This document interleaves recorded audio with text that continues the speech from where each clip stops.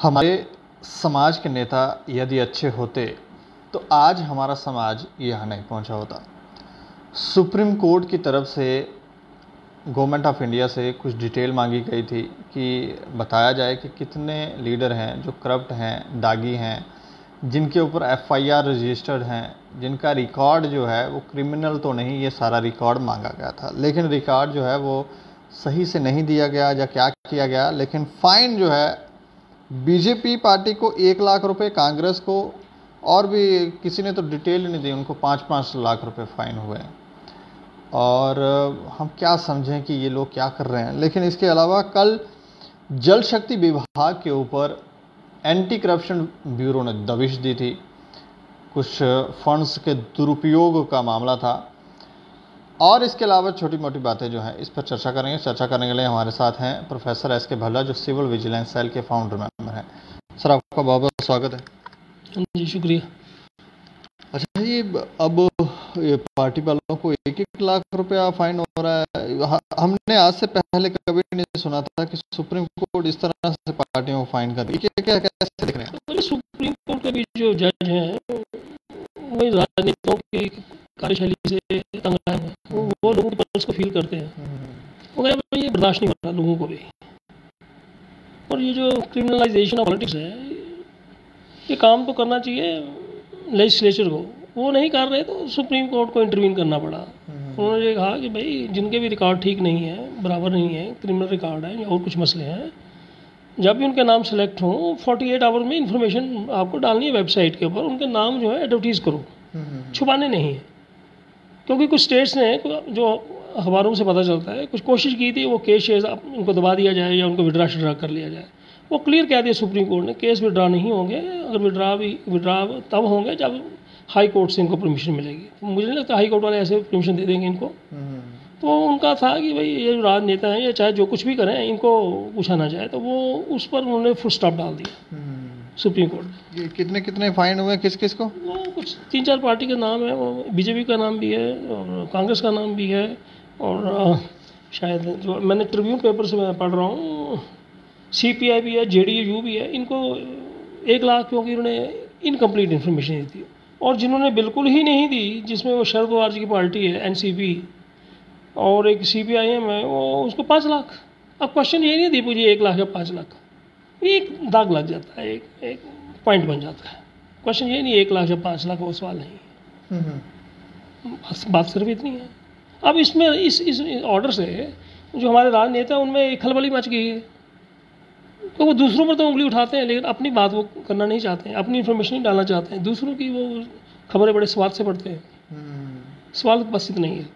वैसे लीडर हमारे होने कैसे चाहिए? उनकी छवि कैसी होनी चाहिए? और ये लोग कौन है? छवि तो साफ़ ही होनी चाहिए उसमें छवि तो इसमें थोड़ी कोई कह रहा कि छवि गलत होनी चाहिए। लेकिन ये आज की बीमारी नहीं ना है। पिछले कई सालों से ये चल रहा है और काफ़ी देर से ये हो रहा है कि people with tainted record they are managing the show छवि साफ़ छवि वाले व्यक्ति नहीं ना इसलिए वो एक मैसेज गलत जा रहा है सारी सोसाइटी में। जम्मू कश्मीर के भी कुछ लीडरों का कुछ है नाम बाम मुझे नहीं अब वो पता किसके नाम होंगे या नहीं होंगे लेकिन मैंने थोड़ी सी जो मेरे पास इन्फॉर्मेशन एक पड़ी हुई थी मैंने डाल दी अपनी आज की फेसबुक में। वो एक एम पी है वो नहीं जूल किशोर जी उन पर कोई चार एफ़ आई आर लगी हुई हैं। वो पता नहीं वो क्या उनका वो एक कोई आर टी आई की इन्फॉर्मेशन मुझे दे गया था मैंने उसकी बेसिस पर वो बात डाल दी। कहाँ फेसबुक पर डाल दी? फेसबुक पर डाल दी फेसबुक पर लिखता हूँ फेसबुक पर डालूँगा ना। अच्छा। डाल दी। और कुछ उस उस बंदे ने जिसने वो आर डाली थी उसने कुछ और भी क्वेश्चन पूछे थे तो उसमें उन्होंने लगा दिया ये इन्फॉर्मेशन आपको हम आपको दे नहीं सकते। क्यों? इन्फॉर्मेशन पता नहीं उन्होंने क्या वो कौन सी सेक्शन वो लगा दिया आर टी आई की जी हम आपको इन्फॉर्मेशन शेयर नहीं कर सकते। ये कौन कह रहा है? ये पुलिस के वो लोग जिनके पास वो आर टी आई गई होगी। अच्छा। तो अब हम दोबारा फिर उनसे पूछेंगे भाई बात को पूरा करो साफ़ करो बात क्या है? तो फिर ये सवाल ही निशान बन जाते हैं एफ़ आई आर लगी हैं और ये लगे हैं कुछ छुपा रहे हैं? छुपा रहे हैं तो इसलिए उन्होंने कहा ना इन्फॉर्मेशन शेयर नहीं कर सकते। लेकिन जो एफ़ आई आर हैं और, और क्या वो उस पर जो सेक्शंस वगैरह हैं वो मैंने डाल दी थी अपनी फेसबुक में। अच्छा। जो मेरे को आर टी आई की इन्फॉर्मेशन किसी व्यक्ति ने मुहैया करवाई डॉक्यूमेंट है कोई गपशप नहीं है इसमें। अच्छा। हाँ। हम तो यही कह रहे हैं कि हमारा तो कोई उनसे को लेना देना नहीं है लंबा छोटा हम सिर्फ़ यही कह रहे हैं कि एम पी साहब को अपना जो है वो रिकॉर्ड साफ़ करना चाहिए। ताकि उनको कोई भी बंदा परेशान ना करे। हम्म। लेकिन सिर्फ़ जुगल किशोर ही हैं कि और भी लोग हैं? और तो आपको पता है दीपक जी जो केस चल रहे हैं जैसे रोशनी मैटर में वो आरबी जो ट्रस्ट है लाल सिंह जी की वाइफ के नाम पर शायद है वो उसका भी उनका भी केस चल रहा है। अच्छा। और रमन भल्ला जी का भी रोशनी में नाम है सबको पता है। जजमेंट में नाम नहीं रोशनी में तो बहुत सारे लोग हैं। नहीं जिनके ना, नाम तो बड़े हैं लेकिन जो स्पेसिफिक नाम आए हुए नाम तो सभी के नाम तो नहीं आए जिनके वो आए हुए नाम जजमेंट में। जज साहबान ने लिखे हुए हैं। रमन भल्ला जी का भी नाम है उसमें। हम्म। और ताज मुहीउद्दीन जी का भी नाम है कुछ। ये मोटे मोटे जो हमें पता है चला है। हम्म। तो मतलब ये है कि चाहे चार बंदे हों दो बंदे हों एक बंदा हो तो फिर मैसेज तो रॉन्ग ही है ना जी। कोई मैसेज हेल्थ तो नहीं ना है। मैसेज तो है। चलिए ये तो किस तरह से देख रहे हैं जी कि सुप्रीम कोर्ट पॉजिटिव डेवलपमेंट अब देखो जी बात ये है कि जब ये राजनेता काम नहीं करेंगे तो फिर आखिरी उम्मीद फिर जुडिशरी पर ही होती है। तो अब जुडिशरी अपना काम अपने मुताबिक ठीक कर रहे हैं। आज की डेट में कल क्या हो संतुष्टि होती है। नहीं देखो देखो ना ये बड़ी पुरानी बीमारी है। ये ये ना सोचिए ये आज का डेवलपमेंट है। अब इन लोगों को नंबर शंबर भी दिया हुआ है अपने चार सौ कुछ। जैसे ये लिखा है यहाँ पे ट्रिब्यून में कि जनाब इसमें उन्होंने इलेक्शन इलेक्शन कमीशन जो है उसने बताया कोर्ट को जी 469 कैंडिडेट्स हैं जिनके प्रोग्राम ठीक नहीं। 469 is not a small number और और उसमें लिखा है कि टेन पॉलिटिकल पार्टीज़ ने बिहार के असेंबली इलेक्शन में इन बंदों को डाला। खाली बिहार में 469 है। तो बाकी स्टेटों की अगर वो सारी डिटेल लगाई जाए अगली पिछली देखी जाए तो ये तो बहुत नंबर बन जाएगा। ये तो बहुत बड़ी बहुत ज़्यादा बड़ी मुसीबत है। ना ये बहुत बड़ी एक क्रॉनिक बीमारी है हमारी राजनीति में। Criminalisation of politics people with black deeds people with a foul track record वो जब घुस जाते हैं तो अब्यूज़ ऑफ़ पावर भी होता है और देश की दौलत का मिसयूज़ भी होता है और बड़ी मुसीबतें भी बनती हैं। अब वो सुप्रीम कोर्ट के जजेस ने वो एक पीआईएल थी एक किसी ने पीआईएल की थी उस पर ये कुछ फैसला वगैरह कुछ दिया है। हम्म। तो this was a great news today तो उस पर बातचीत की जा रही है। इसके अलावा हमने, बहुत बार आपसे भी चर्चा की और करप्शन के मामलों में हमने कहा कि बहुत ज़्यादा करप्शन है, हर डिपार्टमेंट में है। और आपने कहा था कि अगर हमें बीमारी पता हो और उसके बाद ये भी पता हो कि इसकी वैक्सीन क्या है तो वो वैक्सीन अब आपको लग रहा है दी जा रही है। जल शक्ति विभाग के ऊपर भी थोड़ा दस ग्यारह जगह उन्होंने वो सरप्राइज़ विज़िट किया है, वो सब रिकॉर्ड वगैरह खंगाला। और एम्बेजलमेंट कहते हैं खुर्द बुर्द हुआ है कुछ पैसा शैसा एम्बेजलमेंट कुछ का। अभी उन्होंने जो मैंने सुना है अभी कोई एफआईआर नहीं लगाई उन्होंने रिकॉर्ड वगैरह सीज किया है अब उसको देखेंगे। अभी चल रही है अभी चल रहा काम। यही जो अखबारों के अनुसार हमें क्या पता। मैं उसको देखेंगे उसके बाद कोई एफआईआर बनती होगी लगा देंगे लेकिन बात बात वही है। ये यकदम हो गया ये दस बारह जगह ये प्रोग्राम था ये मतलब एक दिन में सारा दिन हो गया कुछ हो गया कितनी देर से चलता होगा? मुझे और बड़ी अजीब बात है अखबारों की बड़ी कंप्लेंटें आ रही थी। हम चाह रहे थे कि सारी कंप्लेंटें इकट्ठी हो जाएँ, दो चार सौ हज़ार कंप्लेंटें इकट्ठी हो जाएँ, फिर हम काम करेंगे। शुरू में ही क्यों बुराई को नहीं रोका जाता? मेरा सवाल। evil in शुरू में ही बुराई बुराई को रोक दो। हम बुराई को बढ़ने देते हैं बड़े जब वो बहुत बड़ा भारी बन जाता है, फिर हम कहते हैं, उसको हम काटेंगे। ग्यारह विभागों पर आपने लगा दिए तो ये सवाल ये निशान है functioning of the chief engineer कोई मिस्टर भट्ट सुना कोई? हाँ। और फॉर मिस्टर भट्ट और फॉर दैट मैटर और भी कोई जेंटलमैन है he has to answer all this questions अब उनकी भी जवाब नहीं होनी चाहिए ना वो उनके डिपार्टमेंट हो क्या रहा है? हम्म। किसी को पता नहीं चला? अच्छा उनके डिपार्टमेंट में किसी को नहीं पता चला? तो हमारी इन्वेस्टिगेट एजेंसीज को भी नहीं पता चला। वो कह रहे थे सारी कंप्लेंटें इकट्ठी होने दो सौ डेढ़ सौ कंप्लेंटें इकट्ठी होने दो फिर हम काम करें। व्हाट इज़ दिस ये मुझे बात कोई समझ नहीं आई वैसे ये क्या इनका अंदाजे अंदाज़ा है काम करने का? चलो अब किया है तो देख लेते हैं। अब अब अब कितनी देर में उसके लिए पीछे जो सरकारें होती हैं वो भी उस तरह की होनी चाहिए क्षमतावान कि हाँ आप काम करें। पहले वाली हो सरकारें हो सकता है इनको बोलती हैं कि आप थोड़ा शांत रखें। मैं इस बारे में मैं क्या बताऊँ पहले वाली क्या थी और आज क्या है? लेकिन सिर्फ़ ये इतना है कि ये काफ़ी लेट हुआ होगा काम मेरे ख्याल में। अगर ये पहले ही हो जाता तो शुरू में ही कुछ चीज़ें चेक हो जाती। अब वो पता नहीं कितने का स्कैम है कौन बंदे इसमें इन्वॉल्व हुए हैं? फिर ये जब बड़े बड़े पुराने मसले होते हैं बीच में कई लोग रिटायर भी हो जाते हैं। वो फिर किसको पकड़ेंगे किसको छोड़ेंगे? फिर बीच में वो सिफारिशें सिफारिशें भी शुरू हो जाती हैं। वो भी सुनी जाती हैं सभी की तो नहीं कहीं की तो सुनी भी जाती हैं। क्योंकि टेलीफोन बजने शुरू हो जाएँगे। वो भी बजते हैं कोई मोबाइल शुरू हो जाएँगे फिर पता नहीं क्या बनेगा अल्टीमेटली लेकिन कल एक शख्स हमें बता रहा था कि यहाँ पर विभागों के अंदर जो सामान वगैरह आता है आता तो है रातों रात आता है लेकिन वो एक दो दिन के अंदर गायब हो जाता है वो जाता कहाँ वो पता नहीं चलता।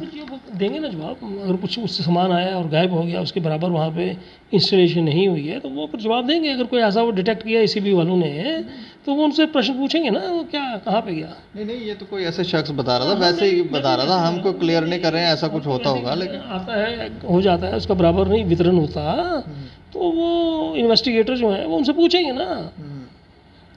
लेकिन जो हमारे भट्ट साहब हैं वो भी अपनी कलम का कोई जलवा दिखाए ना कुछ दो चार लोग उनकी नोटिस में भी होंगे उनको सस्पेंड तो कर दें कम से कम कि वो भी वेट कर रहे हैं कि आसमानी सिग्नल आएगा। He is chief engineer not a JE chief engineer की कॉम्पिटेंस होती है। कर सकता है वो सस्पेंड अब लोग वो सोचते होंगे मैंने सस्पेंड कर दिया वो सारे इकट्ठे हो जाएँगे वो शुरू हो जाएगा जलसा जुलूस। अब एक इनको ये भी मुसीबत है ना। वो कहते हैं जी वो उनका होता है वो ट्रेड यूनियन होता है वो वो सारे दो चार आठ हज़ार इकट्ठे बंदे हो जाएँगे जी। नहीं तो गलत काम को सपोर्ट करेंगे ये लोग भी। कौन सपोर्ट करेंगे? मतलब जो जैसे किसी गलत तो को ट्रेड यूनियन तो है ना ये जो है जी होती ही। है अब उसमें उसमें भी कहीं उसमें कुछ ठीक भी होते हैं कुछ गलत भी होते हैं मैं इस पर क्या ज़्यादा बोलूँ? तो हमारे कुछ अफसर इसलिए भी एक्शन लेने में कतराते हैं कि ये बड़ा सीन बन जाएगा बड़ा शोर पड़ जाएगा फिर मीडिया में बड़ी बातें चल पड़ेंगी खिंचाई हो जाएगी ये हो जाएगी वो बस कुछ ऐसे ढीला ढीला हो जाते हैं। वो उससे situation in the long run वो उसके अच्छे रिज़ल्ट नहीं होते। मैं सिर्फ़ ये कहना चाहता हूँ अगर दस ग्यारह जगह पे वो रेड हुए तो कुछ ना कुछ तो चीफ इंजीनियर साहब के पास भी कोई इन्फॉर्मेशन रही होगी या नहीं रही होगी? हाँ बिल्कुल। कुछ तो रही होगी। इतना तो हम मैं कहता हूँ पूरी नहीं रही होगी। कुछ तो रही होगी। तो उन्होंने अपने कलम से अब तक कुछ किया नहीं होगा। अगर किया हो तो हम भी अखबार में पढ़ लेते। तो किसका वेट कर रहे हैं? कहाँ से उनको सिग्नल चाहिए? और मुझे मुझे इतना पक्का कॉन्फिडेंस से कह सकता हूँ उनको कोई ज़्यादा सिग्नल लेने की ज़रूरत भी नहीं उनकी कॉम्पिटेंस से कर सकते हैं वो। अब वो क्यों नहीं कर रहे इसके लिए मेरा ख्याल आपको पी एच विभाग में जाकर उनका इंटरव्यू करना चाहिए भट्ट साहब का।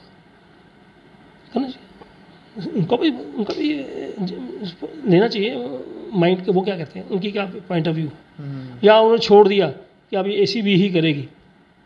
कई बार यहाँ ने जब उनका छापा मार दिया वो ए ही करेगी। हमने कुछ नहीं करना। जो एसीबी करेगी वो हमें हाँ, क्योंकि उससे उससे वो बच जाएँगे। लेकिन इसमें वही होता है ये जो करप्शन के रिलेटेड केसेस होते हैं इसमें दिव्य जी बड़ा सिंपल है। पुलिस की कार्रवाई होती ही होती है एक डिपार्टमेंटल कार्रवाई भी होती है। ये मैं नहीं कह रहा हूँ सुप्रीम कोर्ट कह रहा है। डिपार्टमेंटल भी डिपार्टमेंट तो इन्होंने करनी है।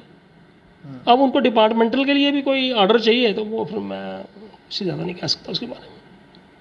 उसके बारे में मैंने कहा। लेकिन पंद्रह अगस्त आ रही है। और ये हमारे जो टेररिस्ट हैं ये थम ही नहीं रहे हैं। अब इतनी सिचुएशन हैंडल करने के बाद जब ऑपरेशन ऑल आउट चल रहा है कश्मीर के अंदर इनको यहाँ पता चलता है वहाँ मारे जा रहे हैं। लेकिन अभी देखो ये लाल चौक में हंगामे कर रहे हैं। वो तो खुद चल ही रहे हैं हम देख ही रहे हैं। वो अब जहाँ जहाँ वो उनको मौका मिलता है वो डिस्टर्ब करते हैं और हमारे जो सुरक्षा वाले हैं वो कर ही रहे हैं अपने हिसाब से काम। बीजेपी के लीडरों को निशाना बनाया जा रहा है।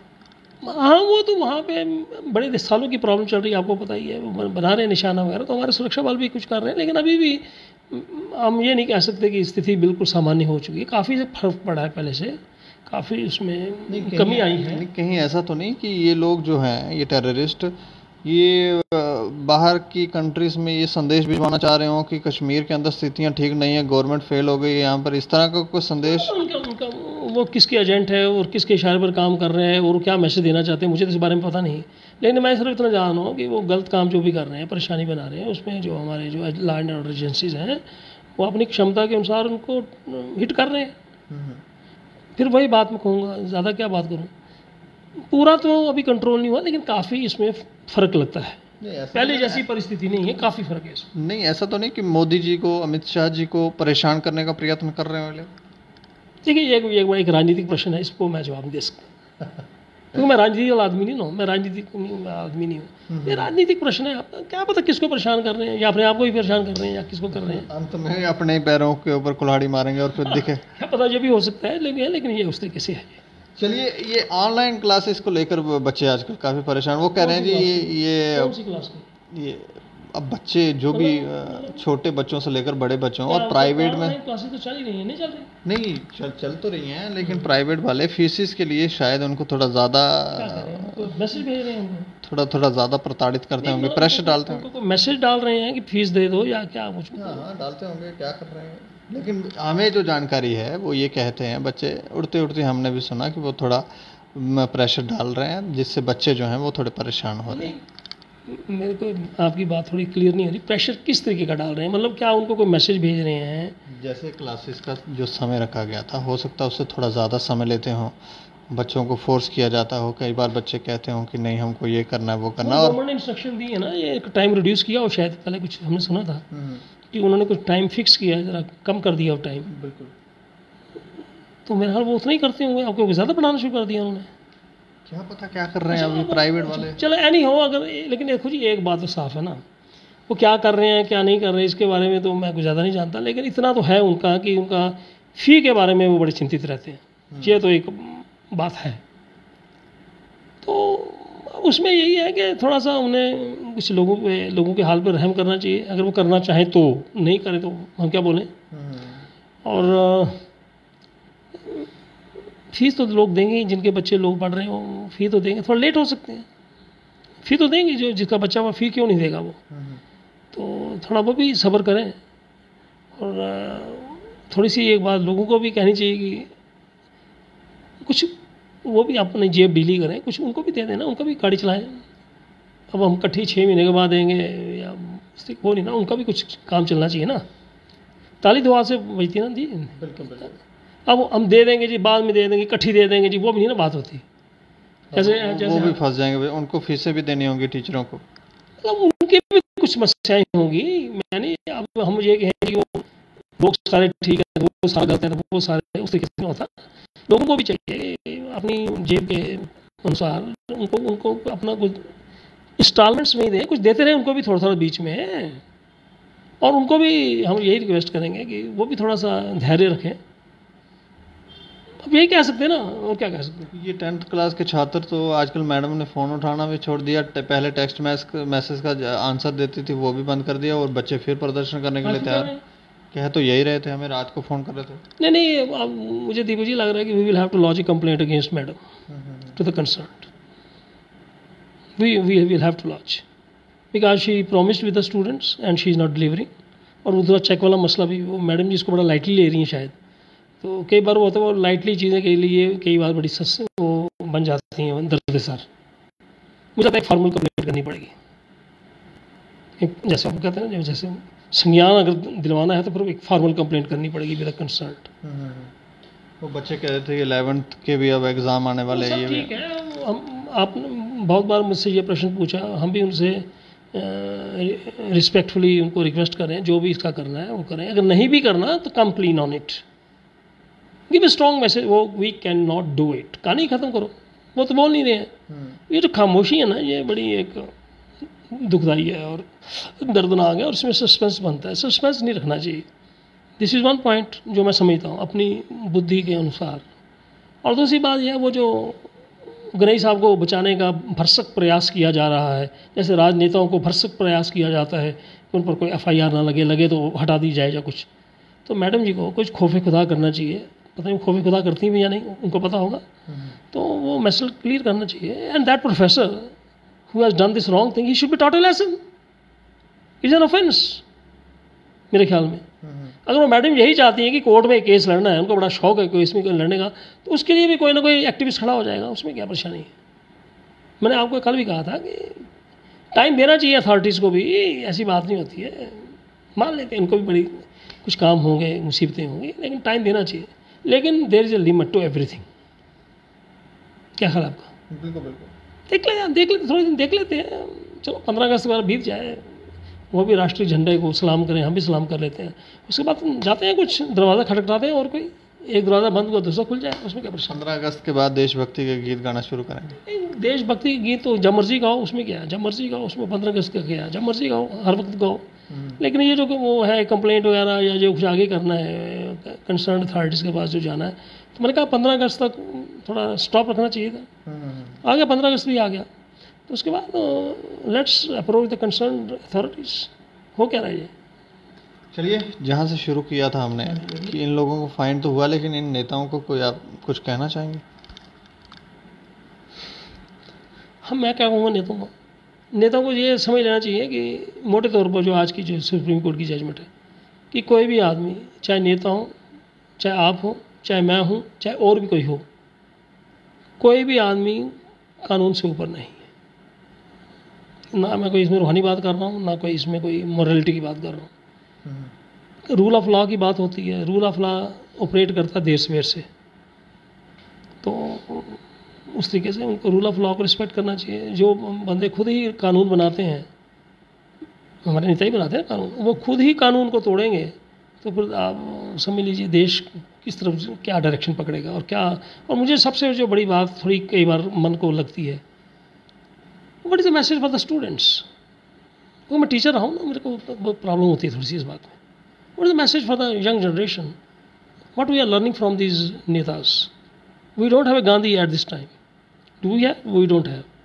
We don't have a person like Lal Bahadur Shastri at this point of time. Hmm. We have such people who have four FIRs और कोई बजरी स्कैम में फंसा हुआ है कोई पता नहीं कौन से स्कैम में फंसा हुआ है फिर वो पता नहीं केस होते हैं फिर केस गायब भी हो जाते हैं पता नहीं क्या ड्रामे होते हैं दिल्ली में केस होते हैं वो नोटिस होते हैं फिर नोटिस बनी कहाँ चले जाते हैं वो कैसे विड्रा होते हैं भाई हमें तो ऐसे केस लड़ने नहीं आते पहले के नोटिस डालते हैं फिर नोटिस विड्रा हो जाते हैं पहले एक दूसरे के खिलाफ बोलते हैं फिर रातों रात हैंडशेक भी कर लेते हैं। वो कहते कोई बात नहीं भाई भाई भाई भाई भाई भाई। क्या बोल? इससे ज़्यादा बोलना ठीक नहीं रहेगा। बात my message is clear message is clear चलिए शुक्रिया हमसे मेहरबानी मेहरबानी। तो ये देखें किस तरह की ये राजनीति होती आई है? अब जो हो रही है उस पर हम कटाक्ष नहीं कर रहे। लेकिन जो पहले होती आई है उससे जो समाज को डायरेक्शन मिली जो मैसेज कन्वे हुआ हम तक पहुँचा, युवाओं तक पहुँचा, छोटे बच्चों तक पहुँचा, माता पिता तक पहुँचा, वो संदेश क्या दिया गया? और आज प्रश्न तो बहुत सारे हैं हम उठाते भी हैं लेकिन ये नेता खुद भी अब अगर कहीं गलती हो गई है तो ये खुद भी समझें कि हमारी गलती हो गई है और ये अपनी गलती को मानकर खुद ही अपने लिए सज़ा भी तय करें कि ये हमारी सज़ा है। हम इसे भुगतेंगे इससे एक अच्छा मैसेज जा सकता है सोसाइटी में। लेकिन अब करेंगे तो यही लोग बाकी, आप लोग देखते रहे दैनिक समाचार, मुझे और मेरे सहयोगी अरुण डोगरा को दें इजाज़त। नमस्कार।